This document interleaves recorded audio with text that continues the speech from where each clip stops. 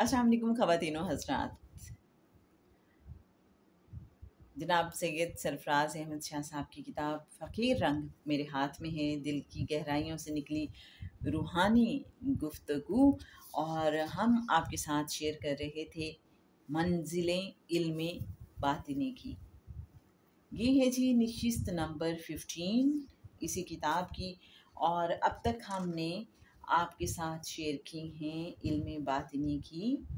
कितनी मंजिलें, कोई बता सकता है? जल्दी से सोचें। जी बिल्कुल सही। हमने ग्यारह मंजिलें आपके साथ शेयर की हैं। चलिए जी, आपको मैं मुख्तसर में बता देती हूँ कि पहली मंजिल जो है, उस पर जो फाइज लोग हैं, उनको अहलुल्ला, अहल इरशाद और रिजालुल्ला कहा जाता है और उनकी तादाद होती है एक वक्त में चालीस हज़ार। दूसरी मंजिल पे जो फाइज लोग हैं, उन्हें अहल हक या अहल इमरान कहा जाता है। उनकी तादाद होती है टू सेवेंटी टू और उनमें से कुछ जो हैं, वो हालत सुकर में रहते हैं, कुछ हालत साहब में रहते हैं। इल्म बातनी की तीसरी मंजिल पर फाइज लोगों को उतार कहा जाता है और इनकी तादाद एक वक्त में ट्रिपल थ्री होती है और ये ज़मीन के गिर्द कायम चार बुर्जों पर पहरेदार होते हैं।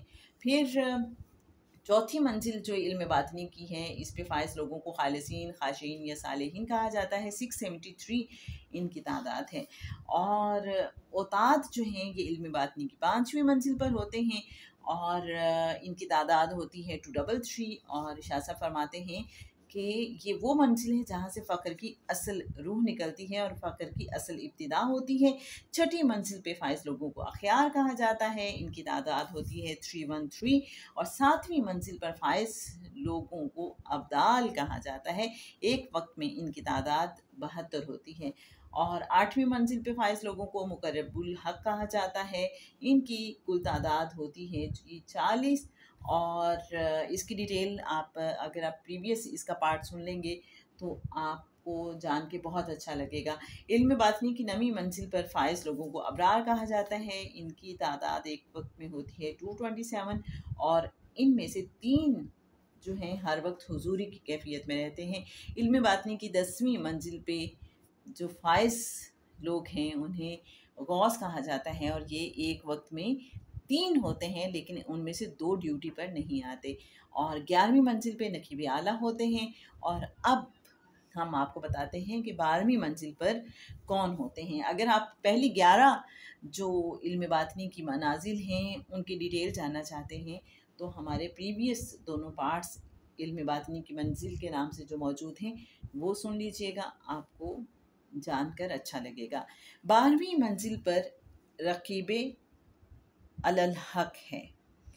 ये वो मकाम है जहाँ मंसूर हल्लाज फायज थे। रकीब अलहक कभी अपने आप को ज़ाहिर नहीं करते, अपने बारे में कभी कोई बयान नहीं देते, लेकिन रब ताला ऐसा इल्म रखने वाले अशखास की खुशबू खुद ज़मीन पर फैला देता है। इन पर जब हालत जज्ब तारी होती है तो इनका अपना मकाम इनकी निगाहों के सामने आ जाता है और ये बेसाख्ता कह उठते हैं, अनल हक। फिर ये लोगों के हाथों मारे जाते हैं। रकीब अल हक, ये ऐसा आला मकाम है जहाँ औलिया अल्लाह की हुजूरी में रह रह कर उससे इस कदर प्यार करने लगते हैं कि फिर दूरी दूरी नहीं रहती। जी मेरे अच्छे सामीन कितनी इंटरेस्टिंग बात है ना कि शाह फरमाते हैं कि रकीब अल हक एक ऐसा आला मकाम है जहाँ औलिया अल्लाह अल्लाह की हुजूरी में रह रह कर उससे इस कदर प्यार करने लगते हैं कि फिर दूरी दूरी नहीं रहती। यहाँ तक कि वो बेख्तियार कह उठते हैं, अनल हक। इसका अंजाम मौत है जैसा कि मंसूर हल्लाज के साथ हुआ। हज़रत बाजीद बस्तामी रहमत के साथ भी तीन मरतबा हालत जज्ब में ऐसा ही हुआ और वो दावा कर बैठे, लेकिन इत्तेफाकन बच गए। जनाब सैयद सरफराज अहमद शाह साहब फरमाते हैं कि तेरहवीं मंजिल पर वो मकाम है जिसके बारे में लोग सबसे ज़्यादा जानते हैं और कम अज़ कम नाम की हद तक वाकिफ़ हैं और इसी मंजिल के दुनिया में सबसे ज़्यादा दावेदार हैं। जी, आप ज़रा मेरे अच्छे सामीन गैस कीजिए कि ये कौन सी मंजिल की बात हो रही है? कुछ अंदाज़ा लगा सकते हैं आप? जी। मेरा ख़्याल है आप में से बहुत से लोगों ने अंदाज़ा लगा लिया होगा। जी हाँ ये बिल्कुल कुतुब की मंजिल है, जो एक वक्त में तीन होते हैं और ज़मीन के चारों कोनों की निगरानी करते हैं। निगरानी के वक्त ये अपनी जान से भी चले जाते हैं। कुतब बहुत बड़ा मकाम और ज़िम्मेदारी है, क्योंकि हर कुतब एक तिहाई ज़मीन का निगरान है और वो एक तिहाई ज़मीन पर अपनी ड्यूटी सर अंजाम देता है। इल्म बातनी की चौदहवीं मंजिल कौन सी है? कुतबुल अख्ताब। जहाँ हज़रत कुतुबुद्दीन बख्तियार काकी रहमतुल्लाह फाइज थे।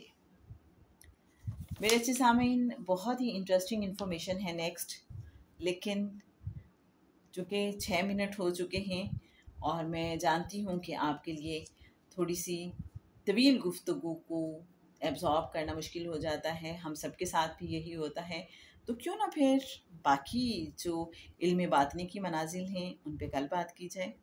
हमारे साथ रहिएगा। बहुत ही इंटरेस्टिंग है अगली मंजिल, जी हाँ चौदहवीं मंजिल। कुतुल अकताब की और इस पर कौन कौन सी हस्तियाँ फायज हैं? एक दो बहुत ही कमाल हस्तियों का ज़िक्र भी होगा। हमारे साथ रहिएगा, अपनी दुआओं में याद रखिएगा। असलकम रहमतुल्लाहि व